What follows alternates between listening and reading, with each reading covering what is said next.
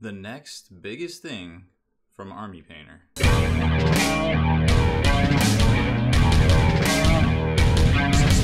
Spikey Bits.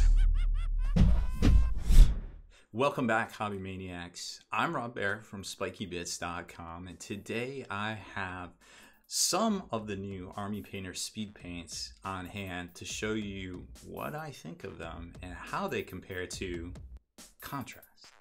So I bugged the crap out of Army Painter for the longest time because I wanted a faster way to paint my Marvel Crisis Protocol figures, and I was like, yo, I know what you're working on. I want it. I want it now. That's basically how it went. Um, and I was lucky enough to get uh, a, a, good a good chunk of their paints a little ahead of time. These aren't even in a box set yet. They sent me some some randos, some Lucy's, so to speak. And uh, and I've been playing around with them for about a week. I managed to paint up a couple of things, asked a lot of questions, and did a lot of uh, test painting that I'm about to show you all here. And I have to admit that overall, um, I'm super impressed with these paints. And you know, it's not just because hey, Army Painter sends me stuff all the time because they do, and you know that. But I don't always like everything they send me, and I don't always talk about everything they send me because if it doesn't resonate with me, it's not going to resonate with you guys. So don't worry, just because they send me something, I'm not going to always talk about it. But that being said, I feel like these paints are probably one of the best things that Army Painter's ever done. Maybe the hobby has ever had product wise because it's everything that contrast isn't. It's everything that we wanted from contrast, but contrast seemed like it was just kind of shoehorned into its role and it's very inconsistent across the board. And i've been painting a lot of miniatures with contrast my marvel crisis protocols and i was like man this should really work a lot better. Why isn't it working better? And i was like because it's not exactly what it was supposed to be. And it's it is a great tool and it's great for a lot of things but it's not really great for what it's supposed to be good at and that's what i that's where i feel like speed paint comes in and is to rock everybody's socks personally so I'm, I'm, very fortunate. I'm one of the very first people with these. Um, so I do want to say thank you to Army Painter. But you know they always send me stuff. But I'm just doing, I'm just going through the motions here, people. So let's talk about the paints themselves. So this is a uh, 18 milliliter bottle. It's the same size as their new air paints and of course their existing uh, war paint set. So it's pretty much across the board. You're not you're not getting like little value or anything like that. Now what the liquid is I'm actually not sure, but it's very, very soluble, um, which I'm about to show you when I actually use these here in a minute. Um, and it it almost feels it feels light, like it feels light, but they're, they're, they they came to me completely full, but they felt light. So it's really interesting properties, and I don't know enough about what it all is inside of here that uh, to really comment on it. Um, but I do know that it's probably got a lot of water, and it does have uh, some additives to it, which they kind of talk about on um, the uh, little warning right here, which is just basically whenever you send stuff across countries, across borders, that customs is going to look at these things and they're going to be like, hey, what is this? And of course, they're going to check the MSDS. It's why all the boxes from Games Workshop, if you ever see the shipping boxes, they always say not children's toys because children's toys are subjected to additional testing, you know, like lead paint and all that, because you don't, kids put stuff in their mouth. I'm an adult and I put stuff in my mouth, but whatever. You get what I'm saying. So this, so I haven't had any, I've gotten this stuff all over me. It comes off pretty easily. Um, I still have some on me, it looks like, from earlier. I don't know, it just kind of goes everywhere, so whatever. I didn't, I haven't even used these paints today and I got some on me, so we'll see, uh, we'll see how that goes. So as far as, you get the same amount as uh, this stuff here. If I had to guess, they are going to be priced a little bit more than the airbrush and the war, war paints, just because of the material that it is. Um, I'm sure it's a little bit more expensive for whatever the contents are that makes it do what it does. Because if it didn't, then it would just be this, right? So if I had to guess, it's going to be more than the four dollars that the normal pots of paint. But if I also had to guess from Army Painter, it's not going to be eight dollars a bottle either. So I would say I would probably put it right in a happy medium, happy middle uh, price point in there somewhere, which means that knowing what we know already publicly about what comes in the set, that a set of paints is probably going to be right around a Handy. So, which is like half price of the other stuff. It's just some price comparisons there to think about. Now, let's talk about the uh, material. So, to use these paints, uh, just you got two different options.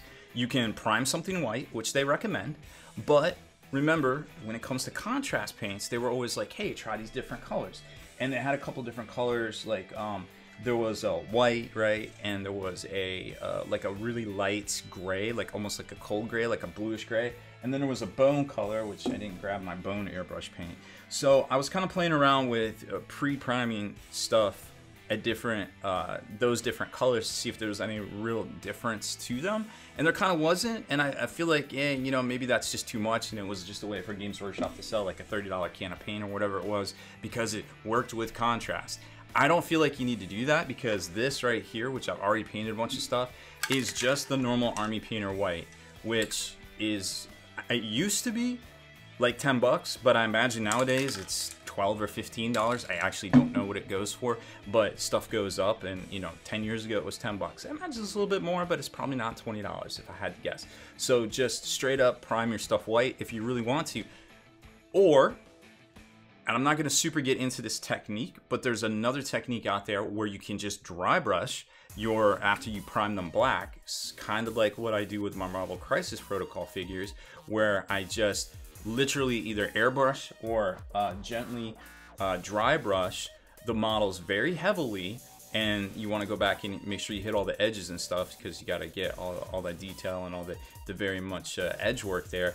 And you can just set it up like this and then just go to town. If you want to add extra steps, there's extra steps to create a little bit more depth where you can seal it up and then do something like uh, some black wash. Um, but it's going to take a lot more time because you have to matte coat every step, like prime it, dry brush it, matte coat it, wash it, matte coat it. So now you're already, already a couple days down the road on a project, which is great for Marvel Crisis Protocol because I got like 80 of these figures. So I can just paint up a team at a time, have a team prepped, ready to go, to start painting a new team. But if you're just like, yo, I just want to paint some stuff, hit it with some white primer and go to town.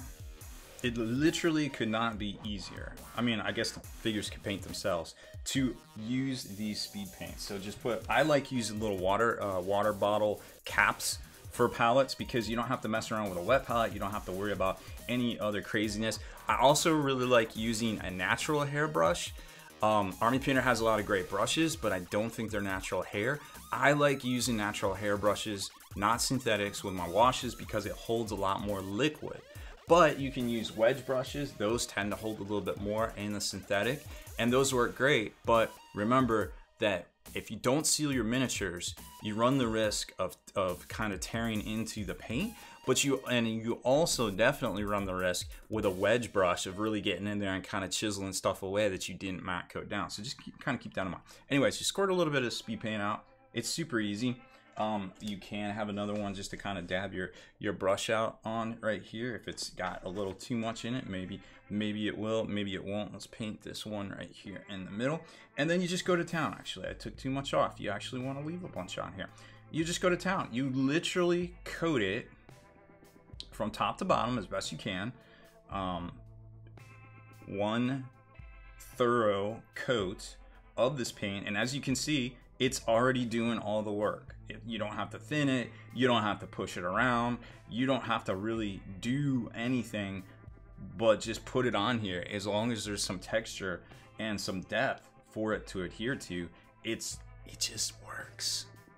And then to clean up your mess, which is really not even a mess, just take a gooseneck uh, squirt bottle that you might have already from airbrushing, and you can literally wash away this, which also brings up my next point. After you're done working, you definitely want to matte coat your uh, miniatures because they uh, they will dry and they dry a lot faster than contrast paint. But you can obviously smudge the stuff off, and it's very easy to smudge off. And obviously, if you make mistakes, you can smudge it right off. And in a lot of cases, you can get right back to the to the primer itself. Um, or wherever the last uh, spot you was that uh, that you matte coated and um, just kind of start again. Like i said this stuff adheres to itself very easily and it dries a lot quicker than contrast which almost means like you don't have to batch paint. With contrast you had to batch paint. With speed paint you can literally paint a figure at a time just switching between the colors on the figure and it's all good like you might you might kind of over like get some paint on a different color and it's a lot easier to fix at that point and I'll show you that here in a second. and then we'll slap some leather down, which is uh, one of my new favorite colors from them because there's so many pouches and there's so many packs uh, to use that this uh, this will really do a lot of uh, good work here. Is, did I do leather or did I do? I feel like I did not grab leather. That is not the leather color. So if you screw up, it's kind of funny. You can literally just dab it off in a lot of cases, like I said, and uh, and just kind of start over. Watch this. Let's take some water. And boom, we're good to go. And a matter of fact, that's probably going to be dry here in a second. Let me figure out what color I really wanted to use. Okay, I think I found it. So this is the leather. Is that it? That's it. Okay. So this is the leather color. Uh, I really like this one because obviously a lot of straps, a lot of packs, a lot of stuff going on uh, when it comes to things like Marvel Crisis Protocol, but also you know like Primaris Space Marines and D and D figures and stuff always have that brown that you really want to pop with some leathery uh, color to it, and this is just the way to do it. So I applied it really thick. You don't have to worry about anything like that. It's just going to dry out. You just got to give it a few minutes. Um, but it, like I said, it dries shockingly fast, but you still don't want to bump the paint if you can help it. Then the camo green, which is also, I think, going to be a lot of people's favorites here. Now, it isn't quite an orc green, but I think some people might use it as an orc green just for like some of the commandos and stuff. But I, I definitely like this color right here. It's, an, it's a nice poppy, um, not full on like a forest green, but it's uh, it's definitely a very cool color that I think we'll see a lot of use uh, in the future. And then my new favorite color out of all of them is definitely this red that is just whoa. Like, wow.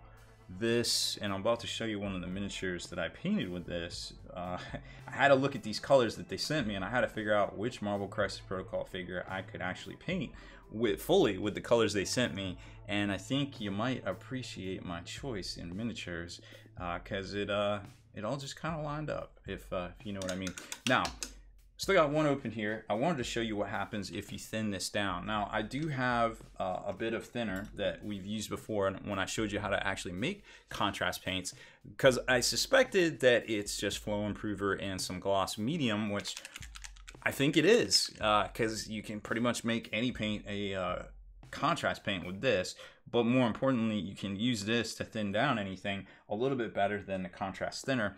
So I'm assuming it's going to work good with this. I don't have any thinner for this, but with a little luck, this will work just fine. And then we're just going to show you what it looks like to thin this down, which doesn't I mean it's not bad, but it's probably not what you're gonna want if you're going over a white base coat. Uh, if you're going over a different color base coat like a black or something like that that I showed you with some of that what they call value highlighting or value painting earlier, that's probably to be more what you would want something like this for, or going over uh, large flat areas.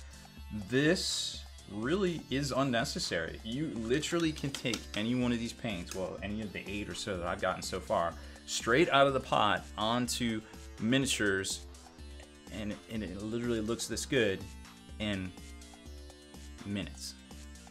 So let's show you some actual painted stuff here, right? Uh, I thought I was like, well, if you can thin it down, maybe you could put it on a vehicle and that would look dope, right? Because you can't really do that with contrast. So I tried. And, you know, for the most part, you can thin it down and you can smooth it out if you've got these nice flat, flat panels like this. It works pretty well. But the problem is when you start getting up here to these areas where there's a lot going on and not only is it flat, but there's also texture. And that's where it gets a little weird and you have to kind of babysit it a lot and it's kind of not worth it. So then I was like, well, let's try it in the airbrush. And I loaded up the airbrush and well, it worked at first, full pressure, about 40 psi. Um, but it it kind of it kind of streaked like it was a little it was a little too much because it hit too quick and it didn't dry on on the, the surface and you can see it kind of pulled up so i was like all right let me throttle it back we throttled it back to about like 20 psi ish and did the top here and you can see that that turned out well. It still wasn't quite still wasn't quite what I wanted because there's a little bit of pooling um, and that was just kind of getting used to it but you can see where it gets into the cracks and crevices and it really makes this really you know if you didn't if you weren't looking at any of this that just seeing that right there is a really nice robust paint coat. And if you pre-shaded it already instead of just white primer in it um, you'd see a lot more depth in the miniature but that's not what we did. And then I came over here and I throttled it back a little bit more and it worked perfect out of the airbrush. Like it you can see the depth you can see the little nubs you can see all this stuff here. It's a nice solid um, uh, base coat and then even these in the cracks that if you use the airbrush a lot you have a problem getting into areas like these like vents and cracks and respirator things and all those little super detail uh, oriented areas that stuff doesn't really get hit well. So contrast is a great way to do that um, and get in those areas perhaps if you if you have a hard time like even this deck plating and stuff would probably look good with a little bit of contrast paint. So it airbrushes well but you just have to kind of be on top of your game when it comes to that and not just go blast in full bore um, it works just fine and uh, you know obviously for blood angels player you're probably like holy crap so here's the first miniature I painted, a uh, Sylvaneth Revenant, and I used pretty much all the colors except for, I think, the purple that they gave me. Uh, on this, I mean, I didn't have an orc, but this would make a great orc beast Snagga kind of color scheme for sure. This is the leather, this is the skin. You've got a camo color, which was great just over a white primer coat, right, white rattle can. Uh, this is a unique color. It's called something sand, sand golem. Uh, it's not quite a uh, yellow, but it still works pretty good. And then you can see some of the elements of blue, uh, the swirlies, and then of course uh, the power weapon there. This it took like 15, 20 minutes to paint. I was watching football, uh, incredibly short paint scheme, and then I kind of hunkered down and painted something. Of course, I started out with the miniature looking like this with uh, you know a little bit of uh, dry brushing, a little bit of uh, kind of pre-highlighting, so to speak, on it, um, and the and the black wash on it, just to really get those highs and lows ready to get popped with whatever uh, paint I wanted to use. And here he is, Mr. Wade Wilson, Deadpool himself, completely painted with speed paint. Uh, the red, the black. We used a little bit of metal of the normal army painter metal right here, the plate mail metal. Um, we use that just thinned down with a little bit of the flow improver um, and uh, glaze medium, but you could use the Army Painter, um, what is it, flow, the Army Painter War Paint mixing. It's basically the same thing. I just have a big bottle mixed up over here. Um, that stuff would work just fine too with a little bit of flow improver in it, and you can really smooth out a lot of the metals here to give it that uh, really cool kind of sheen and, and fade on it. But uh, but yeah, oh, and the leather color, of course, for all the straps. And down here at the bottom, a little bit of that sand, a little bit of the red, and there's like another color in here. Oh, I think it was the leather to kind of get that orange. And then this was pretty much already done, like you saw on the Wolverine color right there. But between those two miniatures, I was watching Monday Night Football. It was halftime. I was done. I don't have any other scale of reference for painting so fast that I don't even know what to say. If I had all these colors, I don't even know what I could paint. Um, between airbrushing and, and all my Marvel figures, and um, it might not be the best for metals like an army like Custodes, but I already have a great way to paint those um, using actual army painter golds and bronzes already. So I guess I'm good there. I, I don't know what else I could paint, but this is a great application for these paints. Just make sure you hit it with matte coat afterwards. If you make any mistakes, you can literally lick your finger and probably erase it and go back over it and fix it. But I mean, two miniatures in about an hour and a half uh, together, uh, kind of crazy to be quite honest. Um, now, yeah, this was pre-shaded, of course, but I pre-shaded a bunch of miniatures all at once. So I don't feel like that was a whole lot of time wasted or anything like that on on this. Pre-shading it. Um, the one thing I do like about this speed paint that I really loathed about contrast is that it dries a lot quicker. So if you get, you know, like metal on the red or something like that, you can just give it a second to dry, hit it with a little white, give that a second to dry, come back with the speed paint, recoat it. It'll even coat over itself pretty quick if you want to give it a little bit more depth somewhere and you're good to go. So it's pretty crazy how like I don't know how to put into words how impressed I am with this because I've never seen or experienced anything like this before. And hopefully, if I don't have 80 Marvel figures painted up uh, after they send me the set in a reasonable amount of time, uh, then uh, then there's just uh, I have is literally no excuse for not getting that done. So that is it for this one, you guys and gals. Thank you very much for watching our I guess, debut and review of the new Army Painter speed paints. I think there's other things on the market like contrast, like speed paint, but or in the same vein, but I don't think there's anything else on the market exactly like speed paint. And I think this is going to be a game changer. I think pick up a bottle when you see it at stores or pick up the box set. There's going to be a starter box set according to their video if I had to guess, it's going to be super affordable. Try it out for yourself. I think you're going to be very impressed with this product. I think it stands to potentially be one of the best things that's ever happened to this hobby in recent memory um, that I've ever been a part of for sure. And, you know, to have these in my hands and actually get to try this stuff out for the last week or so and paint all the, all the things I've showed you already and really get accustomed to how these things work, I think it's to be very well received out there. So thank you once again for watching this video. Hit that subscribe button and turn on notifications so you can be the very first to like and comment on all our other videos.